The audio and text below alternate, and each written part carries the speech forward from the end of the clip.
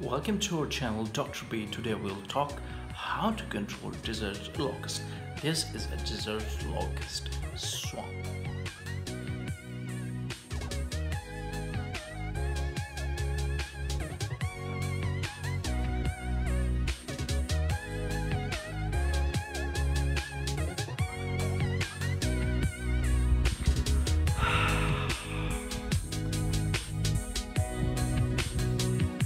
New swarm?